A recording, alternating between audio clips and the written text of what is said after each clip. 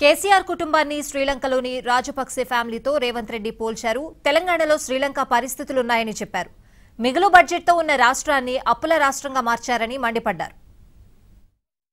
ఐదేళ్ళ కాంగ్రెస్ ఇతర పార్టీలు కలిసి చేసిన అప్పు అరవై తొమ్మిది వేల కోట్లయితే కల్వకుంట్ల చంద్రశేఖరరావు గారు ఏడు సంవత్సరాలలో ఐదు లక్షల కోట్ల రూపాయలు అప్పు చేసింది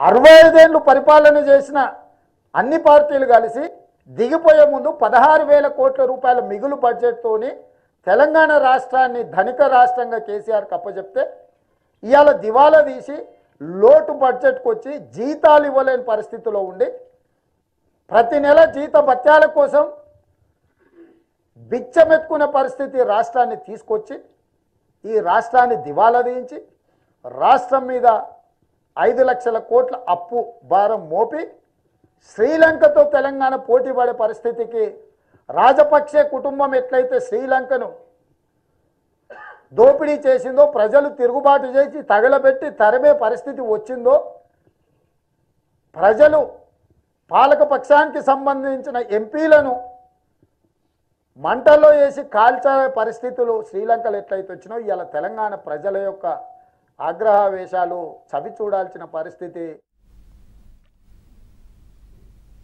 కేసీఆర్ ప్రభుత్వ విధానాల వల్లే రైతుల ఆత్మహత్యలు కొనసాగుతున్నాయని రేవంత్ రెడ్డి విమర్శించారు.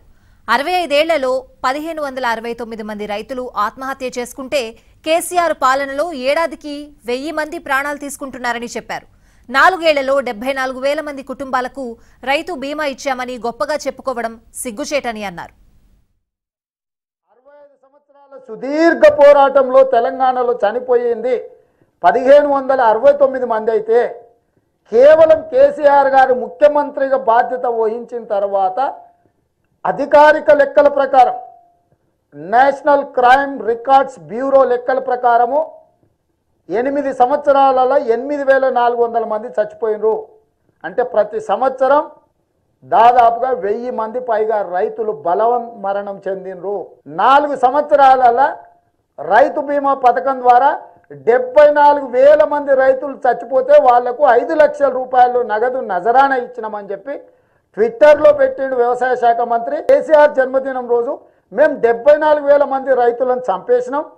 చంపినందుకు గాను ఐదు లక్షల రూపాయల నజరాన్ని ఇచ్చినామని వ్యవసాయ శాఖ మంత్రి ప్రకటన చేసే పరిస్థితి వస్తే ట్విట్టర్లో పెట్టి గొప్పగా చెప్పుకునే పరిస్థితి వస్తే దీన్ని ఏ రకంగా తెలంగాణ సమాజం తీసుకోవాలి ఏ రకంగా అర్థం చేసుకోవాలి. రైతు సంఘర్షణ సభ పెట్టి వరంగల్ రైతు డిక్లరేషన్ ద్వారా ప్రధానమైన అంశాలను రైతు కష్టాల నుంచి ఆదుకోవడానికి రైతు రుణమాఫీ కావచ్చు రైతుకు పెట్టుబడి కోసం ఇందిరమ్మ రైతు భరోసా పథకం కావచ్చు రైతుల పాలిట శాపంగా మారిన ధరణి పోర్టల్ కావచ్చు నూతన వ్యవసాయ కమిషన్ ఏర్పాటు చేయడం కావచ్చు ఈ తొమ్మిది ప్రధానమైన అంశాలతో కూడుకున్న డిక్లరేషన్ ఆర్ రాహుల్ గాంధీ గారి ప్రకటన ఏదైతే ఉన్నదో agreement between farmers and Congress party ఏదైతే ఉన్నదో ఈ విధానాన్ని మేము తీసుకొని వచ్చినాం. పన్నెండు నెలలల్లో కాంగ్రెస్ అధికారంలోకి వస్తుంది.